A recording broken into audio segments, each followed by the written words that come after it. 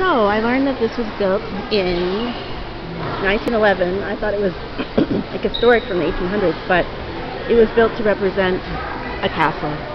So, now I'm sad.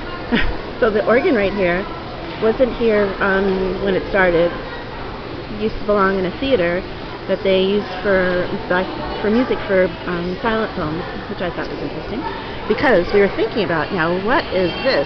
All the little all the pipes are over here, and the organ is over there, and I thought, hmm, how can that be? Because it wasn't originally here to begin with. So, I wonder if other movies have been filmed here. Okay, research question. He's like, did they have electricity in 1911? Hmm, probably. Uh, I hate to say I'm not sure. We were wondering if I was thinking, oh, well, if it's built in the 1800s, then it would, uh, they'd have to be lit. How could they light them from way over here with a candle? Oh my gosh. So we're having lots of fun looking around and you can see it's really crowded. We're going to go upstairs. This is the second floor. Alright, see you later. Bye.